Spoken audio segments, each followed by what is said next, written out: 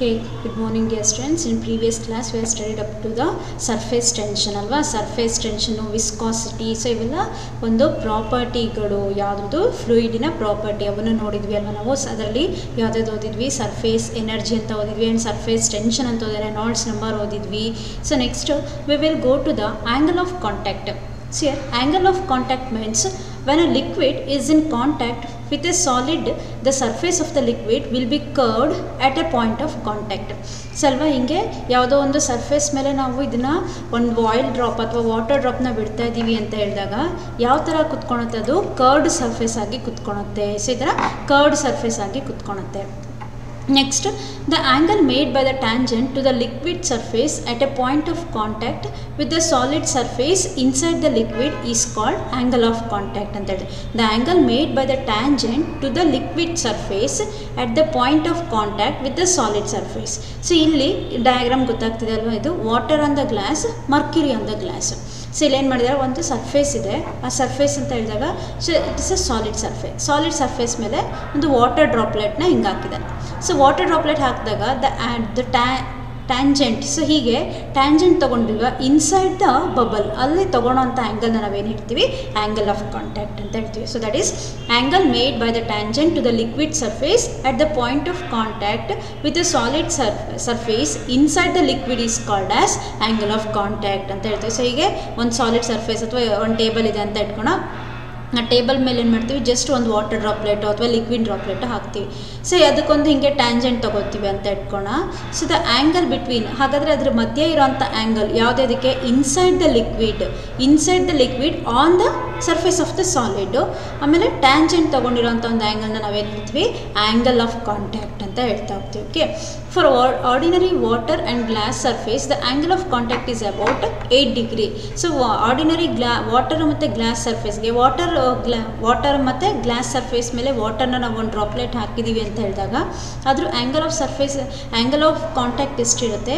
Eight degree ಇರುತ್ತೆ. For mercury glass surface it is about one thirty five degree so ಈ ಥರ ಹೆಂಗೆ bend ಆಗಿದೆ ನೋಡಿ. ಇದು ಏಯ್ಟಿ ಡಿಗ್ರಿ ಇದು ಒನ್ ತರ್ಟಿ ಫೈವ್ ಡಿಗ್ರಿ ಇರುತ್ತೆ. So that shows a angle of contact of the water and the mercury next when theta is less than 0 theta less than 90 degree ಇದ್ದರೆ liquid meniscus is concave so less than ninety degree ಇದ್ದರೆ concave ಆಗುತ್ತೆ. Liquid rises in the capillary tube liquid ಏನಾಗ್ತಾ capillary tube ಹೇಳ್ತೀನಿ ಇವಾಗ next so liquid ಏನಾಗ್ತಾ ಹೋಗುತ್ತೆ? Rise ಆಗ್ತಾ ಹೋಗುತ್ತೆ. Okay next liquid wet the surface ಆ ಸರ್ಫೇಸ್ನ ಏನು ಮಾಡುತ್ತೆ? ಸರ್ಫೇಸ್ನ ವೆಟ್ ಮಾಡುತ್ತೆ, ಹಸಿ ಮಾಡುತ್ತೆ ಅದನ್ನು. Adhesive force is equal to the cohesive force ಅಲ್ಲೇನಾಯಿತು?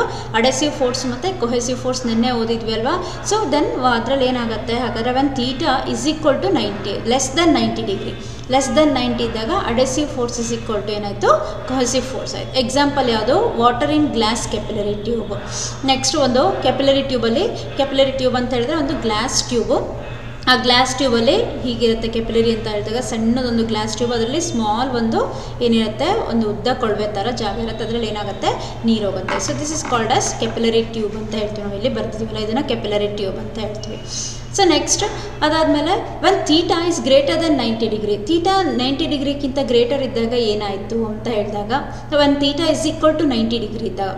So theta is equal to ninety ಇದ್ದಾಗ liquid meniscus is plane liquid meniscus ಏನಾಗುತ್ತೆ? ಮೆನಸ್ಕಸ್ ಅಂತ ಹೇಳಿದರೆ ಏನಂತ ಹೇಳಿದರೆ ಸೊ ಇಲ್ಲಿ ಒಂದು ಕೆಪಲರಿ ಟ್ಯೂಬ್ ಇದೆ. ಆ ಕೆಪಲರಿ ಟ್ಯೂಬ್ ಅಂತ ಹೇಳಿದಾಗ ಒಂದು glass tube so usually chemistry ಲೆವೆಲೆಲ್ಲ ಇದನ್ನು ಕೆಪಲರಿ ಟ್ಯೂಬ್ ಯೂಸ್ ಮಾಡ್ತಾರೆ. ಆ ಗ್ಲಾಸ್ ಟ್ಯೂಬ್ ಒಳಗಡೆ ಒಂದು ಸಣ್ಣ ಟ್ಯೂಬ್ ಇರುತ್ತೆ.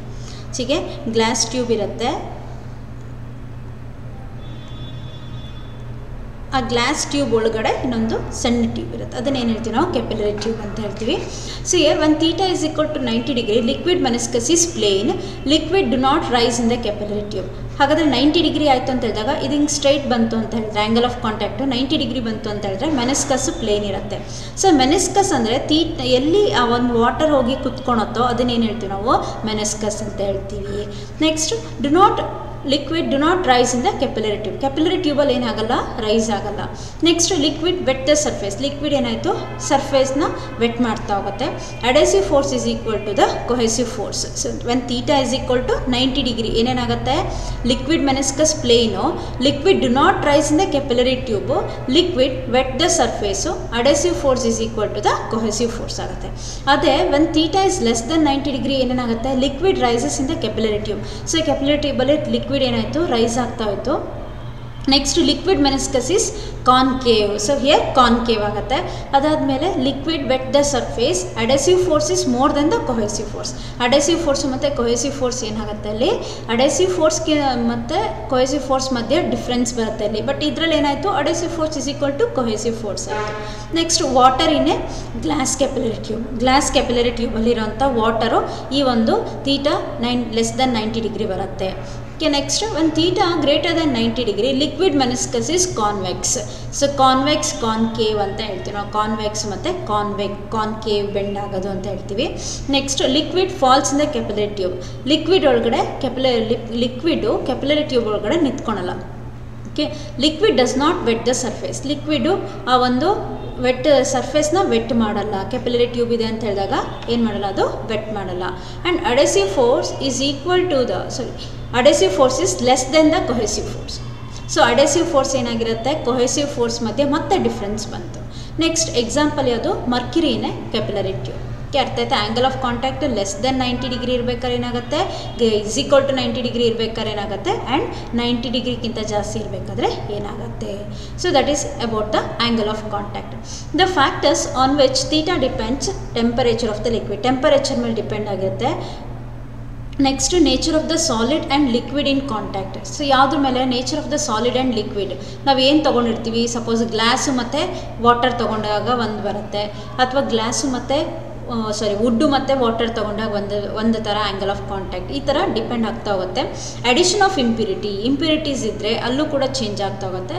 Medium above free surface of the liquid so ಅದರಲ್ಲಿ ಆ free surface of the liquid ಮೇಲೆ ಏನು ಮೀಡಿಯಮ್ ಇರುತ್ತೆ, ಅದ್ರ ಮೇಲೂ ಡಿಪೆಂಡ್ ಆಗ್ತಾ ಹೋಗುತ್ತೆ. Okay next capillarity capillarity means a tube of very fine bore is called a capillary tube so ಇಲ್ಲಿ ಕೆಪಿಲರಿ ಟ್ಯೂಬ್ ಅಂತ ಹೇಳಿದ್ರೆ ನಾವು ಏನು ಬರೀತೀವಿ ಅಂತ ಹೇಳಿದ್ರೆ ಒಂದು ಗ್ಲಾಸ್ ರಾಡ್ ನಾನು ಹೇಳಿದೆ ಅಲ್ವಾ? ಸೊ ಹೀಗೆ ಒಂದು ಗ್ಲಾಸ್ ರಾಡ್ ಇರುತ್ತೆ. ಸೊ ಗ್ಲಾಸ್ ರೋಡಲ್ಲಿ ಒಂದು ಸ್ಮಾಲ್ ಟ್ಯೂಬ್ ಇರುತ್ತೆ. ಆ ಟ್ಯೂಬ್ ಮೂಲಕ ಏನಾಗುತ್ತೆ? ಲಿಕ್ವಿಡ್ ಏನಾಗುತ್ತೆ? ರೈಸ್ ಆಗ್ತಾ ಹೋಗುತ್ತೆ ಅದನ್ನು ನಾವು ಕೆಪಿಲರಿ ಟ್ಯೂಬ್ ಅಂತ ಹೇಳ್ತೀವಿ. A tube of very fine bore is called a capillary tube very flow fine bore ಅಂದರೆ ಒಳಗಡೆ ಇರೋವಂಥ ಒಂದು ಸ್ಮಾಲ್ ಅಂದರೆ ವೆರಿ ಸ್ಮಾಲ್ ರೇಡಿಯಸ್ ಇರೋವಂಥ ಒಂದು ಕೆಪ್ ಒಂದು space okay one the lower end of the capillary tube is dipped vertically into a liquid so ಈ ಥರ ಒಂದು ಯಾವುದೋ ಒಂದು ಲಿಕ್ವಿಡಲ್ಲಿ ಹಿಂಗೆ ಡಿಪ್ ಮಾಡ್ತೀವಿ ಅಂತ ಇಟ್ಕೋಣ ಡಿಪ್ ಮಾಡಿದಾಗ ಲಿಕ್ವಿಡ್ ರೈಸಸ್ ಲಿಕ್ವಿಡು ಇಲ್ಲಿ ರೈಸ್ ಆಗಿರೋದು ಕಾಣಿಸಿದೆ ಅಲ್ವಾ ಇಲ್ಲಿ? ವಾಟರಲ್ಲಿ ರೈಸ್ ಆಗಿದೆ ಬಟ್ ಮರ್ಕ್ಯೂರಿಯಲ್ಲಿ ಏನಾಗಿಲ್ಲ? ಆಗಿಲ್ಲ. ಯಾಕಂದರೆ it depends on the angle of contact ಅಲ್ವಾ? ಆ್ಯಂಗಲ್ ಆಫ್ ಕಾಂಟ್ಯಾಕ್ಟ್ ಮೇಲೆ ಡಿಪೆಂಡ್ ಆಗುತ್ತೆ. Are there is a depression in the level of liquid in the tube if the angle of contact is more than ninety degree ಇಲ್ಲೇ ನೋಡ್ತಾ ಇದೀವಿ ನಾವು. So ಹೀಗೆ ಇದು ಹಿಂಗೆ ಬಂದಿದೆ, ಇದು ಹೀಗೆ ಬಂದಿದೆ. ವಾಟರಲ್ಲಿ ಹಿಂಗೆ ಕುತ್ಕೊಳುತ್ತೆ ನೆಕ್ಸ್ಟು ಮರ್ಕ್ಯುರಿಯಲ್ಲಿ ಹೆಂಗೆ ಕುತ್ಕೊಳುತ್ತೆ ಹಿಂಗೆ ಕುತ್ಕೊಳುತ್ತೆ okay next the rise or fall in liquid level of a liquid in capillary tube due to the property of surface tension is known as capillary capillarity ಅಂತ ಹೇಳ್ತೀವಿ. The rise or fall in the level of a liquid so ಒಂದ್ಸಲ ಏನಾಯ್ತು? ಇಲ್ಲಿ ಮೇಲ್ಗಡೆ ಹೋಯ್ತು, ಕೆಳಗಡೆ ಬಂತು. ಮೇಲ್ಗಡೆ ಹೋಯ್ತು, ಕೆಳಗಡೆ ಬಂತು. ಈ ಥರ ರೈಸ್ ಅಥವಾ ಫಾಲ್ ಆಗಬೇಕಾದ್ರೆ ಕೆಪಿಲರಿ ಟ್ಯೂಬಲ್ಲಿ ಆ ಒಂದು ಕಾನ್ಸೆಪ್ಟನ್ನು ನಾವೇನು ಹೇಳ್ತೀವಿ? ರೈಸ್ ಆರ್ ಫಾಲ್ನ ಕೆಪಿಲಾರಿಟಿ ಅಂತ ಹೇಳ್ತೀವಿ. Due to the property of the surface tension ಇದೆಲ್ಲ ಬರೋದು ಪ್ರಾಪರ್ಟಿ ಯಾವುದರಿಂದ? Surface ಟೆನ್ಷನಿಂದ okay next surface tension decreases with rise in temperature temperature ಜಾಸ್ತಿ ಆಗ್ತಾ ಹೋಗ್ತಂಗೋ ಸರ್ಫೇಸ್ ಟೆನ್ಷನ್ ಏನಾಗ್ತಾ ಹೋಗುತ್ತೆ? ಕಡಿಮೆ ಆಗ್ತಾ ಹೋಗುತ್ತೆ. Impurities lower the surface tension suppose ನಾವು ತೊಗೊಂಡಿರೋಂಥ ಫ್ಲೂಯಿಡ್ಸಲ್ಲಿ ಇಂಪ್ಯೂರಿಟೀಸ್ ಇತ್ತು ಅಂತ ಹೇಳಿದ್ರೆ ಸರ್ಫೇಸ್ ಟೆನ್ಷನ್ ಏನಾಗ್ತಾ ಹೋಗುತ್ತೆ? ಕಡಿಮೆ ಆಗ್ತಾ ಹೋಗುತ್ತೆ. Okay that's about the capillarity next application application ಎಲ್ಲೆಲ್ಲಿ ಅಪ್ಲಿಕೇಶನ್ ಅಪ್ಲಿಕ್ ಅಪ್ಲೈ ಆಗುತ್ತೆ ಅಂತ ನೋಡ್ತಾ ಹೋದರೆ due to capillary capillary action water from the roots reaches every branch of the tree so ಅಲ್ವಾ?